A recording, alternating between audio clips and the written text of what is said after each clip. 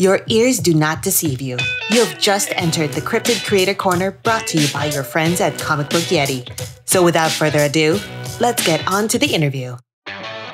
Skirtifka might sound like something spoken by a Cthulhu cultist or the name of a weird craft beer brand, but it's actually the shorthand for this new wild crowdfunding comics project, Super Kaiju Rock and Roll Derby Funtime Go from creator David Hedgecock.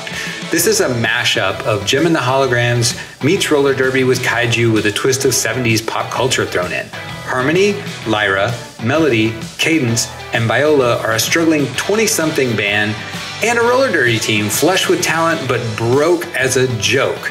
The Burnouts are thrilling concert goers with their killer looks and vibe until a music mishap drops a curious ancient artifact into their hands. Cheeky, lighthearted, and fun, it will be launching soon, and there's an early bird special if you catch it in time that scores you a discount and a VIP wristband. I'll drop the link in the show notes. I read the advance for this, and honestly, it reminds me of my own carefree days gigging on the road in the music industry, but with way better shower scenes. The only thing missing is more cowbell. Hello, everybody, and welcome to another episode of the Cryptid Creator Corner. I'm Byron O'Neill, your host for today's Comics Creator Chat.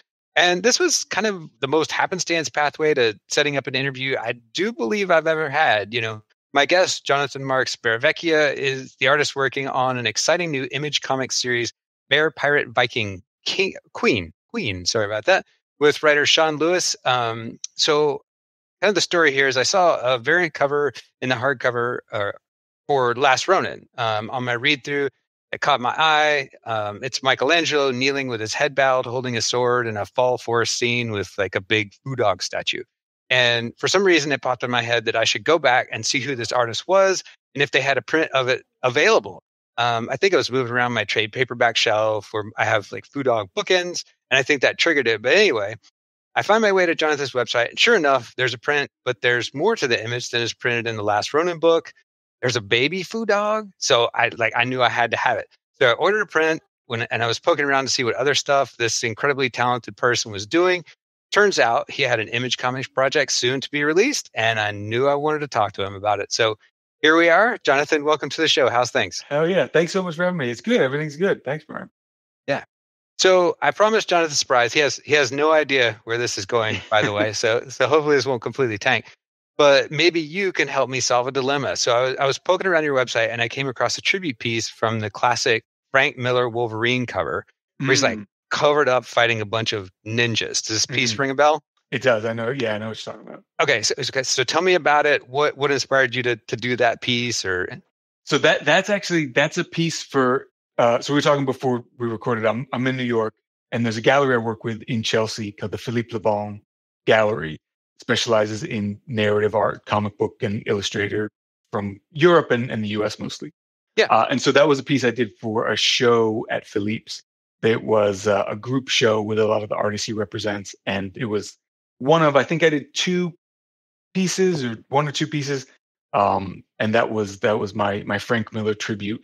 I love the the image like it's one of the one of the earlier comic books that I have, or one of the earlier trades that I have, is that Frank Miller covered in ninjas Wolverine, uh, and so I wanted to just sort of pay homage and and uh, sh- you know show show my interpretation of that very cool. Well, here here's my surprise. So yeah. listeners will have to have to bear with me for just a moment. But okay, well, so what I'm holding up. What? Right, right, right. So I'm trying to get it out. Yeah, so you, you can see it, but what I'm showing off is a 24 by 36 original poster from 1987 That's that hung on my wall as a kid. Yeah, so it's it's the same cover. Um, yeah. bit of a, back, a backstory here. So we we recently moved uh, close to my parents and and they've been cleaning out the attic and you know bringing us out, stuff over from Tennessee to North Carolina when they visit which includes all of my old comics and, and posters from the area when I worked in three different comic book shops and there are way too many of them for me to hang and my wife wants it contained to one room right. so I got to be choosy so I took a bunch of them over to Acme Comics in Greensboro told my friend Jermaine, who is also known as Lord Retail, that I didn't want money for them. I just wanted to find them good homes. So, you know, short story long here. Uh, some of them I've already given to comics creators I know, but this one I've held onto until it seemed like fate would intervene. So if you're interested, it's yours. I would love it. Thank you so much. That's amazing. Yeah, hundred percent. Oh hell yeah! Oh man, my yeah. wife is going to be thrilled. Uh, I doubt that. no, I'm but, kidding. That's yeah. so cool. Thank you so much. That's yeah. amazing. Yeah, yeah. Problem. Well, first off, get it, getting to the actual book we're, we're trying to cover here. I loved it. Um, I was sharing on the Comic Book Yeti editors Discord yesterday that your work here is is absolutely the, the best visual presentation I've seen in the medium in 2024. And I have no idea how you haven't been working on more major projects at this point. So I want to start with your kind of comics journey as an artist. So how did all this start? Uh so the very start, like the very beginning was short, short or long story short, uh, you know, grew up reading comics and loved comics. When I was in high school, had an opportunity to to make a comic uh, for my senior, basically senior project. My my high school, you know, for the last couple weeks had this option uh, where you could, you know, get an internship, do a project with a in the field that you wanted to study or something like that. So I, I pitched a comic book. Basically, it was hard. I was 17 or 18, and it was so much harder than I thought it was going to be. I finished the, uh, I teamed up with a writer. Uh, one of the teachers was a comic book fan. He'd written this fantasy story back in the day. So we, we made it into like a, I don't know, 12 page comic. And it was so difficult and so discouraging that I finished the project. It's terrible. My mom has a bunch of them. It's, it's, uh, just like swipes from Joe Mad and Andy and Adam Kubert and like whoever I was reading. Yeah. Um, and and I basically like after that I was like, okay, I can't like I can't do this. This is too hard. I don't want to lose the love I have for art. I don't want to lose the love I have for comic books. I can't do this as a career. So I stepped away from it for uh, not honestly not that long. Uh, I, I studied literature and and history in college, and you know, kind of started reading comics again and started falling in love with them again. I always kept a sketchbook, and eventually, as as I got a little bit older, still in college, I re- realized that uh, need to make art of some some form or another, visual art. Um, so kind of just dabbled in a bunch of different things and, and eventually recognized that I needed to focus on, for me personally, at least focus on one sort of discipline. Uh, and then from from that maybe move move forward or or branch out to do you know, this is this was I was still young. I was like, oh, I want to like design sneakers and I want to tattoo and I want to draw comics and I want to work in galleries and I want to blah blah blah. blah. You know, and and you can't. Well, I can't do all of those things. Do one thing well enough that you know other doors open. Um, so basically, like fast forward, uh, I don't know how many years, committed to comic books, um, made my uh, you know my submission packet, and uh, was you know convinced that like, well, whoever I send it to is definitely going to give me work. And so, like, who should I send it to first? And obviously, sent it to everybody, and nobody gave me work because it was terrible.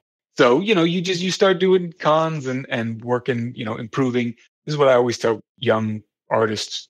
For for me, at least, was uh, you know, go to the cons, speak to the editors and the artists that you admire, show them your work, get the critiques, and then find them again in six months or in a year, show them the work again and again and again. So eventually, I uh, I I was I did that for a number of years. I started working with uh, Aspen Comics. I was living in California at the time. I was living in LA. Those dudes are out there. Started doing some work with Aspen, um, and then from from Aspen started doing work with Marvel, um, and was actually under contract with Marvel for a couple years. I did the Dark Tower, uh, two minis in the Dark Tower universe, the the Lady of Shadows and Bitter Medicine, and then um, some some singles and one shots. I did some Wolverine stuff, some Doctor Strange stuff. But at that time, I was painting more and and and sort of exploring more multimedia stuff in in my comic books in my narrative storytelling. And the Marvel editorial was great. They were very honest with me, like, "Hey, man, this is tough to place. Like, we're we're having a hard time finding you work," um, and suggested edits and and stylistic changes that I could make to be a little uh, to make my life a little easier to, to be working in, in mainstream comics. And and I basically said, you know, I, I do appreciate that. This is the kind of work that I want to make. So I'm going to continue down this road. Uh, and so started doing more independent books and and uh, a lot more cover work. Um, but you know, it, it's the the mainstream comic book market is a funny thing. Um, I, I think I grew up with both the, you know, 90s image and Joe Mad, like I said, uh, you know, X Men books that, that I genuinely loved, and sort of the Vertigo stuff and the Dave McKean and, and you know, George Pratt's Wolverine and, and these painted sort of uh, I don't want to say more artistic, but you know, paint painterly books.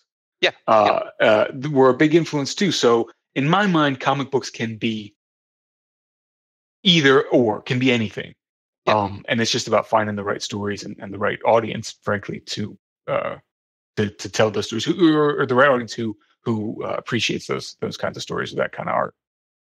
So along your journey there, was watercolor sort of always a, a component of your style or i uh, i started working in watercolor uh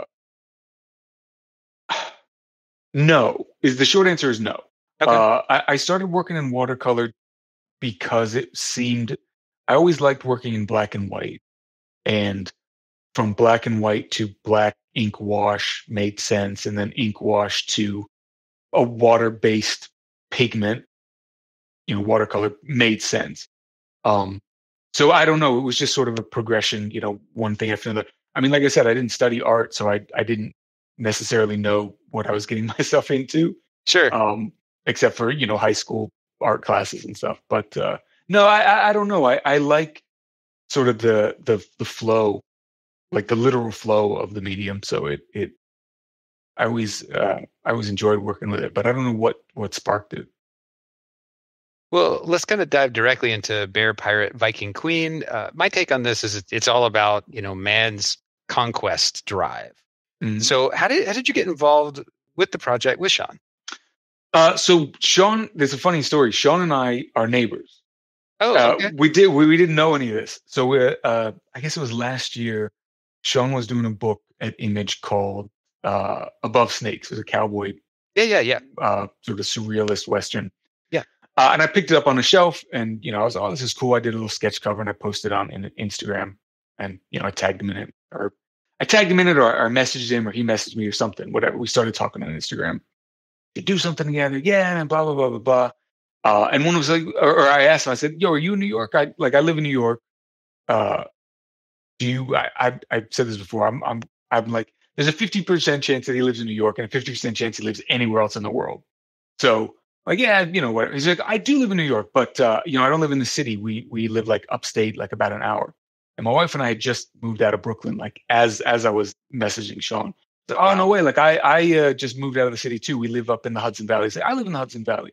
So oh, I live in this town called Beacon. I was like, no way, we just moved to this town called Beacon. He's like, oh, not really. Like I actually I live in a, a small town next to Beacon that no one's heard of. And I said, I live in that. And he named the town. I said, I live in that same small town. So basically, we're like he's he's walked to my house before. He, we live like a mile away from each other. That is so wild. It's crazy. So at that point, it was really like, well, let's just meet up and like see if we even get along, and then like yeah, sure. if we can have like a working relationship, then uh, even better. So um, yeah, you know, met up for for drinks and and we just sort of shooting shooting the shit, like talking comics, talking life, um, and eventually like talking about the kind of books that we would want to make and it really was like just listing. I mean, I had a sketchbook with me that he was flipping through, and he's like, "Oh, I like this or this," or like, "What do you like to draw?"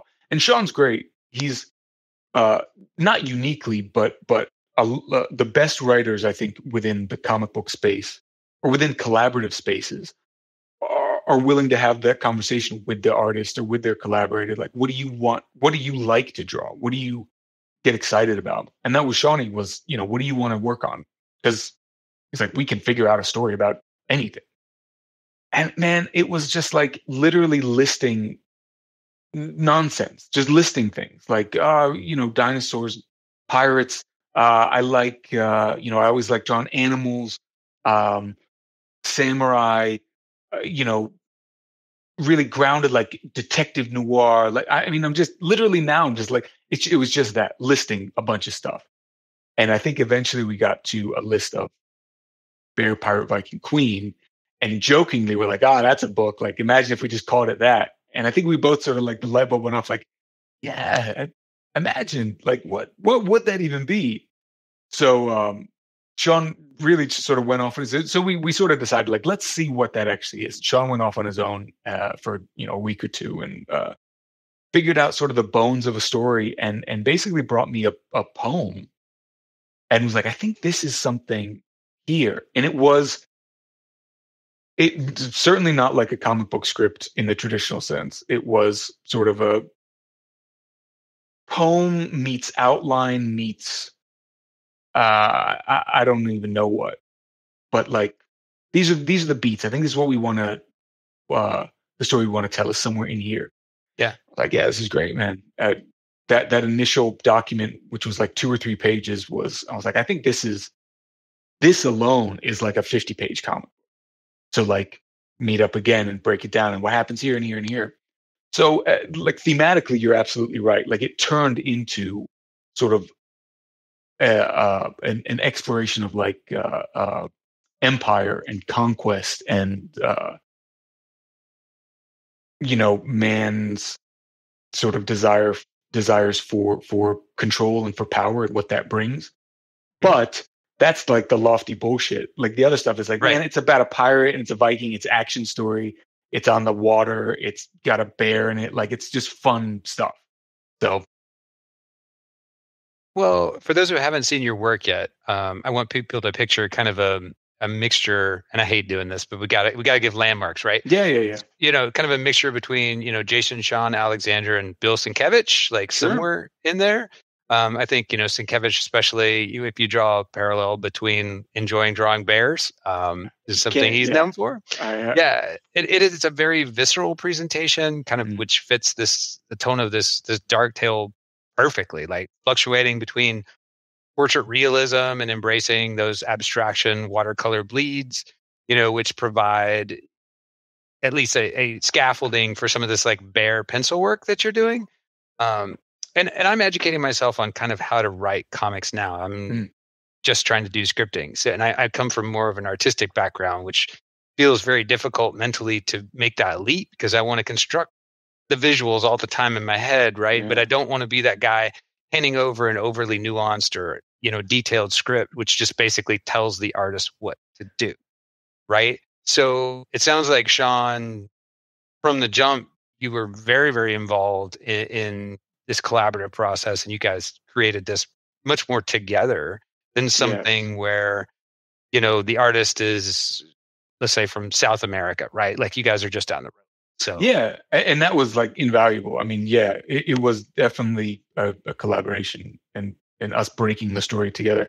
And and like to your point too, you know, at no point was I given very strict guidelines or or uh I mean even specifics. It makes I, I don't know. It makes my life as as the artist harder, but it was something that I wanted and embraced. And and frankly, for Sean as the writer, like it takes a tremendous amount of trust for him to be like, this is the idea of like, hey, these next three pages, let's have the pirates, you know, sail into the sunset and then, you know, uh, crash into an island. And then leave it up to me to figure out exactly how to how to do that is is take some trust. Yeah. Yeah, for sure what part of the script was kind of hardest for you to conceptualize? Or did did you just have kind of free reign to okay i want to take it like this uh yes and no. There were some parts where especially at the beginning where we had sort of a, a very broad outline of where we wanted to go. And and this is entirely on me. I i got ahead of myself once or twice with like this is going to happen and this is going to happen, blah, blah, blah, blah, blah. So, so I'm going to take the story in a certain direction visually mm-hmm. that, that when we then met up again, Sean and I didn't make sense. And so some of those pages are just scrapped pages. Like sure. it's not, this sounds dramatic. It's not, it's not a big deal, but, uh, yeah, you know, once or twice it was like, well, this, you know, you, you wanted Jonathan, you wanted to, to I don't want to give anything away. Let's say like even something as simple as like these you you have a page here where the protagonist uh, uh, scared of something, and Mm-hmm. really for the story to hit better, he needs to be uh, like aggressive towards that something. So you know that's just again me taking it on myself to be like, oh, I want to do this thing, but it doesn't fit the story, and so then we like go back and make sure that we're both on the same page. But but uh, but again, like working in that kind of collaborative space was I was never I never felt like um uh, anything was being forced or or uh, like I was I was having to figure anything out that that I frankly that I didn't want to figure out on my own anyway. All right, let's take a quick break. What in the Sam Hill is happening right now? What is that? Yeah, War Eagle. You like bards? Yeah, War Eagle. Oh, you like Band of Bards. It's not my fault you mumble. That makes sense. They're dropping some great new series right now. There's that one about a heavy metal guitarist in the 1970s with monsters, working class wizards. You know how we love monsters around here. And my friend Dakota Brown, he's working on a project, uh, Grandma Tilly's Hell Tech Mech with Lane Lloyd. I saw the preview for that. That is crazy. Jimmy even contributed to their anthology from the Static and had Matt Sumo on the podcast to talk about his project, The Bardic Verses, which makes a lot of sense that the project landed there. Hey, where you are? Blah, blah, blah. Where can you find them? You need to get out more. They are in previews, or you can visit their website, bandabars.com, for all the latest. Can we turn the music off now? Mario. Thank you. No more surprises, minstrels, or anything like that, or I'll rent you out to the Ren Fair as a children's ride. Yo, blah, blah. Let's get back to the show. there are a few moments in here which feel contemplative, like in the in the Mm. first issue. Um, so there's like a panel with lightning, two full consecutive pages of stormy seas with a sky and very little else. You know, my personal Mhm. favorite panel with a shark. It's rendered in Oh red. yeah, yeah, or it looks like a kind of an homage to the famous Great Wave of Kanagawa, like the Japanese Mm. woodblock print. nice. None you. of these are particularly detailed, and they're like these primal pause buttons that let the story breathe a little bit Yes. between kind of the furious action sequences. So I'm I'm I'm really wanted to kind of dive into process is something I Yeah. love talking to artists about. So how did you put together your layouts? Uh, Because there's that dichotomy, especially between those high detailed action sequences and these very visually fluid moments that Mm. aren't as detailed. Thank you. Uh, yeah, I mean, again, like because the script was so sparse, was was so unlike a script, that pacing was entirely up to me. Okay. And because it was an image book, or is an image book, and we don't have like the page limitations that other publishers do, we can make the book as long or short as we want. So having that sort of breathing space was very important to me, and so it was. It just I laid everything out pretty much in in one or not one go, but like all, all together. Like so, I had the thumbnails for the first issue. I mean, you read it; it's like seventy pages. Yeah. So I had I had almost all those, except for the ones where I got too far ahead of myself. Then I you know pulled back. Uh, I have all almost all those together, so I know that like to your point, if we have a, a big action sequence, I want to slow the reader down. This is one of the greatest things about comic books that the the creative team is not in charge of, but but can influence the pace with which you consume the story. Mhm. And you can do that through like a million different ways. But like for me as the visual storyteller, like slowing slowing you you down, like you said, like now it's just a page, a two page spread of clouds, which some people might just like, oh, there's nothing to read here and flip through it. And some people might like sit in it for a moment. That's entirely up to the reader. But my intention is for you to like pause and like be in that storm with the character for those two pages or three pages or whatever it is. So again, I mean, I was very lucky that the, uh, you know, that the working relationship between Sean and I allowed for that. Yeah, I mean, what really blew me away more than anything else was the panel diversity Mm, because it's bold. You. Uh, you are you are definitely playing with shapes. I mean, more than even it's very in style. You know, with the big two, like I'm thinking Batman or something like Yeah. that, where they get really pretty creative with layouts. But but this, you're you're doing all all kinds of crazy stuff. So talk to me about how you're wanting to to take a reader you know, from point A to point B and how you're doing layouts and how you, Mhm. you know, set this up on the page? Um, I I don't know. I mean, at this point, it's almost intuitive. I have a lot of influences from within comic books from you know um, American and European and Japanese artists. Mhm. So I think that that's influenced some of my storytelling, uh, like like architecture in in in moving the eye around the page. Like I said, I mean, I I did grow up with some of those image books where it was the like that big anchor panel or that big you know figure and then breaking the borders and then doing all this nonsense. So that's in there somewhere. Uh, but but I think that I want to only use those tricks when it's absolutely necessary and and when it's in service to like like moving around the page. Okay. And and frankly too, I, like honestly, I I, uh, I heard uh, I think Brian Bolland in an interview was talking about this too, where like our job as as illustrators or as, as specifically as comic book illustrators is to tell the story and the art itself is kind of a secondary thing but for me and, and brian was saying this too brian mr bolland was saying this uh uh, was like we we we we love the art. Like it's very important to me and to my fragile little ego that like this bear looks cool as shit. So I want as that panel, that panel has to look perfect. Yeah. And then because it's a comic book, not only that, but it has to pull you into that next panel, which also has to look perfect, which has to pull you across into, you know. So it's like a, a juggling act. I don't know if that answers your question or not, but No, it, it does because I'm just always interested in getting into the mind of how how people conceptualize this because I'm coming from um, like a fine art photography background, Mm, so I don't tell. I mean, you do in terms of a a series of images that you're putting Yeah. together. In terms of sequential, they need to have a a thematic thread, you know, that combines them all, but not not like this, right? right. Um, so I'm just interested in in how how people you know put that stuff together Yeah. and, and you're getting away with so much. There was like one full page scene on the with a, a boat where it's almost entirely black. The masthead bisects the page. Yeah. right? Yeah. Which which definitely breaks with like these traditional composition rules, but but it worked, right? You pulled it off. So it was, it moments like that that I was Yeah, just like, damn, man, he he's really pushing the envelope here. Oh, So good. Thank you. I'm glad that, that some of them work. That that one uh, really jumped out to me. I was Oh, like, yeah, wow, wow. Okay, so I'm trying to do this.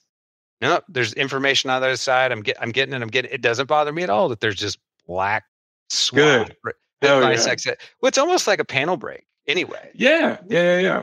Yeah. I, I mean, it, it's you. You talked about photography. I mean, like the composition of the image of the single image, especially on like a splash or a, or a double page spread, is super important to me. It's definitely something that I'm thinking about. And and as much as I love traditional comic book art, I do want to uh sound like an asshole. Like challenge what that can be sometimes. no, you got to. You know? I mean that that's what pushes you. Yeah, exactly. And and again, my influences, like you said, Sienkiewicz is definitely one. Jason's another one. But you know, Dave McKean and George Pratt and Kent Williams, you know, Muth, like these were these Ah, were you're the talking big my ones. language. Yeah, Yes, smooth, these were the big yeah. ones who who were like, oh, okay, we can do this this whole thing as well. It was very Yeah. cool, very like uh, eye opening for me. Yeah, Muth is so underrated. Like one of my Yeah, favorites, yeah, yeah. And, and just didn't do enough stuff. But No, I know he's got kids books now that I'm always trying to scoop up. Uh, I can't remember the latest one. It's like an uh, uh, an astronaut something. It's cool. It's like a little bit more kid friendly, but beautiful still. Well, whoever the editor is on the book, God bless him for leaving in the that like white negative space that that you're utilizing because that has that's a heavenly visual right there. Right? No editors. We were doing it. It's just Sean and I. So really. I'm glad. So thank you. I'm, I'm glad that it works. Yeah. okay, I hope editors see this sells really well and and Yes. that more people do this because it's so good to use negative space like that. Yeah. Yeah. Well, you have these distinct linear archetype phases as well to deal with. You know, kind of the bear operates off of instinct. The the pirate is beholden to no code other than freedom. You know, the Viking is savage but existing in a more rigid societal and religious structure. And the queen, which I don't quite know yet, but I'm imagining representing kind of that ruthlessness, but you know, nonetheless a civilized character. Mhm. So how did you go about kind of wanting to portray each? Because they're they almost function like phases, if you mm-hmm. because there's there's not a I guess a I don't want to give too much away, but there, Hmm. there's not a singular distinct protagonist. Let's put it that way. Yes. um, I also don't want to give too much away as uh, as the series as the mini series goes forward. Sure. Um, so yes to everything that you said. Okay. Uh, uh, we. So I'll say this, which will kind of answer the question. It's it's a three issue mini, and we wanted each issue to sort of stand alone as well as contribute to a larger narrative. And within each issue, to sort of examine those archetypes. Like you're absolutely right uh, that that we uh, were sort of playing into uh, to examine them as archetypes, and then to examine like what that means and how we can sort of challenge that. Mhm. So. Yeah, I mean, you've read the first issue. You know how the first issue ends. Mhm. The second issue picks up right after that, but fills uh, follows a different path. Sure. Uh, and then the third issue, you know, uh, uh, again, uh, sort of take takes the the the, the reader, hopefully in in a surprising and enjoyable direction. Sean and I wanted, as as longtime fans of comics, wanted to make sure that at no point, or or in in as few times as we can, that the story was predictable. That that now this this next thing is going to happen. That you know, the the the disenfranchised English sailor is going to turn into a pirate, and then we see that happen, and then the pirate, you know, challenges the king pirate, and then he wins, and then that happens, and then, you know, it's predictable. It's fun, but we wanted to sort of challenge that both in the the characters themselves and then in the storytelling. Okay. So Well, maybe we can get into the form language then, right? So you, hmm. you've got you've got those four. You also have the pirates. Um, I know a fair number of comic artists use pictures as guides. So do you Mm. use reference photos at all, or you know? I do, yeah, yeah, yeah, yeah. I shoot, I shoot all my reference, uh, and then you know find stuff on online. You know, reference for for old ships and and fashion and uh, Okay. you know uh, whatever it's called.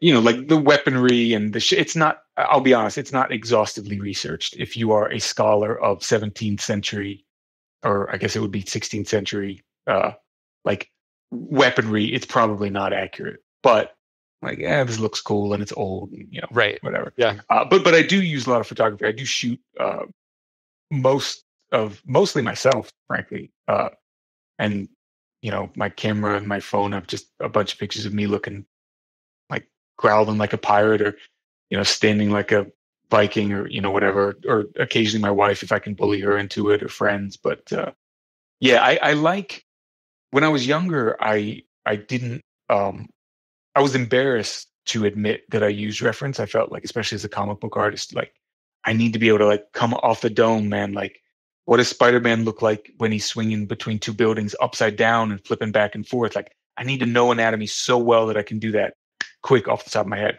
And you should, honestly, like, especially if you're doing superheroes, especially if you're doing Spider-Man, you have to know anatomy back to front. But I found with the kind of work that I do too, I like having the reference in front of me so that I can pick and choose what I use from it. Mhm. So I can Yeah. spend less time sketching. My my layouts, you know, once I figured out the thumbnails for the for the full page, my pencils are really I mean, I use a little red pencil and it's really just kind of, you know, an egg for the head and then the the stick figure body with notes for the elbows or for the hands or for the feet or whatever it is. And then I go straight into it with ink. And I can do that because I have the reference to one side of me. So I, I have something to like visualize. And then I can go into the ink and, and sort of just immediate, I like have that immediacy of the line when I pull it instead of trying to sketch and sketch and find the right line and find the shift here or there. Just, just go right into it. And I think it just makes for a more interesting and honest uh, look. It certainly does. Um, I'm I'm very glad I'm a photographer too, because like that, I Mm. can't imagine doing it that way, especially if I'm putting down, you know, ink washes and stuff on, on paper. I'd, to be scared, I'd fuck everything up all the time. And Yeah, yeah. There's, I mean, there's. I've got a. I'm actually. I'm working on the a new cover, the cover for the trade right now, on my desk, and it's got so far only one patch. So I do everything traditionally, and there's one like chunk that's just a different piece of paper that's glued on top of the board where I fucked it up already. So Yeah. Eh. Eh, happens. Good habits. Yeah, So you're lettering the project as well. So is this your first time Yes. lettering as well? it is. Yeah, yeah, yeah, yeah. Figured it out for this. Like taught myself, and you know, did a couple little projects with friends to make sure that I was confident and comfortable with it. But uh, the lettering is all digital, so that that does give me a little bit of uh, wiggle room. The a lot of the sorry, fixing my light. Um, uh, a lot of the sound effects are are on the boards, but all the the dialogue is is digitally done in uh, Procreate. Oh, okay, cool. Yeah, I was Yeah. thinking that some of those fonts were hand drawn. Yeah, yeah, yeah, yeah. All the fonts are hand drawn. Uh, Okay. So I, I designed the the fonts themselves. Yeah, uh, but then I can do I can letter the whole thing digitally. Okay. Well, kind of what kind of projects are you most interested in, let's say, next, right? Like what what is enamoring you lately? There's a couple projects that I'm working on now that I'm very excited for that I can't talk about. Uh, I'm used to that. But I like. Yeah, I know it sounds. I I was at a con a couple years ago where I was saying that to someone, and they were like, "Oh, that just means you're not working on anything." God damn it, man. That's so No, rude. no, no, no. It means But- these things take years but to it's get it's out. unfortunately yeah you know like sean and i have another project that that we've got in with some editors you know as a as a pitch document now uh i've i've spoken with some other writers where i've got some some pages in the works i do uh book illustration as well i've got um uh an illustrated edition of uh mind swap and i can't remember the name of the author that's coming out this year. Um ah anyway. Um but in the comic book space yeah i mean i love doing this kind of thing. I love doing sort of the fantasy surreal stuff. I like the adventure. I like uh, uh, honestly after this book being so sort of free and broad uh i i like the idea of of sort of doing something smaller for the Okay, next sure. book which is one of Yep. the one of the projects that actually sean and i are talking about Okay. is uh you know super grounded like a, a detective story something that's that's smaller in scope small uh, uh limited in uh visuals as much as i love to like bear pirate is sort of me showing off or trying to show off It's unrestrained. Yeah. it's Uh, yeah yeah unrestrained is a yes Yeah. uh, i i think that i actually look forward to uh one of the projects that's in the works that's like super grounded like i can't i can't hide behind well this is a big like expressive watercolor wash it's like no it's just like black and white like the shadow is right or it's wrong Yep. Because you can always throw down more watercolor. I mean, you can. It doesn't always work. No yeah yeah yeah i mean that's the thing yeah you can always add more Well, I'm going to get in the weeds about paper for just a sec because I'm always Mhm. interested in you know paper choices for watercolor artists, and I've experimented with quite a few different papers in my own work like that. You know, like 100% rag, 50-50 rag pulp, even mulberry. So, Mhm. you know, what do you like to use? What do you typically use? I started with the. I've got an Arches roll of uh, a hot press. It's a hundred and fifty-three pound, Okay. Only comes in these giant rolls. They don't do it in in books. Uh, so I do like that. It's a little bit pricey, to be honest. So I've I've experienced. There's a a Holbein multimedia paper that I like, and then um, I've actually really enjoying Stonehenge paper, which Okay. takes a wash pretty well. Um, and then I've also got some Strathmore Bristol and some like trying to see it on my files over there. Um, uh, I think it's a Canson, just a drawing pad that's not particularly good paper, but like the way I like the way that the watercolor or that the pigment sits on it, it kind of pools on it. So you have to wait. The same with the Bristol, like you have, you have to wait longer than with a with a water with a traditional watercolor paper. Yeah. because the pigment isn't absorbed as quickly. Um, but it, it has like a cool, an interesting look to me. Okay. So does it does it typically make a more saturated color that way then? um, since it's pooling and it just takes longer to soak? Or It can do it. I find it. It uh, traditional watercolorists would hate it because you get those halos a lot easier. Gotcha. You will have because the the the pigment will be dispersed basically around a bubble of a bubble of of water. Mhm. So you'll have the lightest area in the middle of your wash, and then surrounding it, you kind of have a, a darker area, and it gets lighter as it goes to the middle, which you can which you can easily paint around or move that that you know heavier area of water or be more precise when you're putting the water down or wet the paper before. There's a million things you can do. Right. Uh, but I I like that look. Uh, sometimes I want that very smooth wash. Sometimes I like the uh, almost like segmented pieces of of color. Uh, almost like I I I like painting in oils as well. And I remember one like as an adult, I've been trying to take painting classes with artists who I like, who I know. And uh, one one of the artists who I love uh, described uh, painting with oils as, as putting down pieces of paint. And and I think watercolor doesn't typically work that way, but uh, with with some of these papers, like where it does pull, you can kind of put down a little piece and then wait, let it let it soak in or move or do whatever it wants. Put something else down. Put something else down. wow, It's all about patience, which I sometimes have and sometimes do not. I I'm still blown away that you can manage to do this on a singular piece of paper. Because I was I was talking Yeah. to Tyler Crook about this with the the Lonesome Hunters, and he was breaking Mhm. down how how he goes about doing it, and it's much more panel by panel, you know. Yeah. And then then he's constructing things on on the page, kind of jigging things in. But okay, this this explains why the reads work the way they do in this because it's just I don't know to try to describe it to somebody listening. It's just so much more fluid than you Mm, typically expect from from most comic books. You know. yeah. Thank you. Um, yeah, yeah. I, I mean, I I love the hell out of it. So, um, where can everybody find you online? Uh, so I'm on Instagram at Jonathan Marks Art, and I have a website on uh, online. Uh, it's just jonathanmarksart.com. That's that's it. Just the two. Cool. We'll put them in the show notes.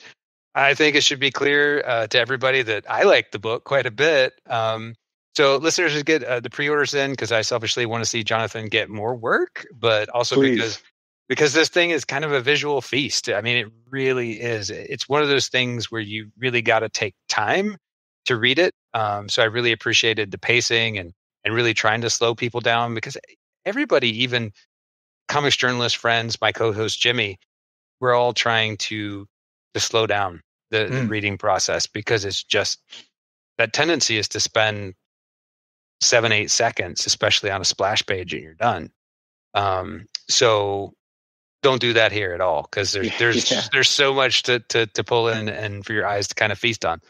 Um, it is poetic carnage. That is how I'm christening it. Um, oh yeah, I like that. if if people are fans of like Game of Thrones or or Black Sails, this is the book for you. So Bear Pirate Viking Queen is in stores when exactly? Uh, first issue is out May 1st. The uh, FOC, the, the final order cutoff for your shops is April 8th. Okay. Uh, so do tell your shops, uh, support your local shops, tell them to order it for you, get in your pull box before the 8th of April. Well, Jonathan, thanks so much for joining me on the show today and kind of indulging in my my deeper artistic. Of course, no, that's eye. fun. Good. I good. love talking Good. about this stuff. Good. I'm glad you enjoyed. Well, this is Byron O'Neill, on behalf of all of us at Comic Book Yeti, thanks for tuning in, and we will see you next time. Take care, everybody. This is Byron O'Neill, one of your hosts of the Cryptid Creator Corner, brought to you by Comic Book Yeti. We hope you've enjoyed this episode of our podcast. Please rate, review, subscribe, all that good stuff. It lets us know how we are doing, and more importantly, how we can improve. Thanks for listening. If you enjoyed this episode of the Cryptid Creator Corner, maybe you would enjoy our sister podcast, Into the Comics Cave. Listen and subscribe wherever you get your podcasts.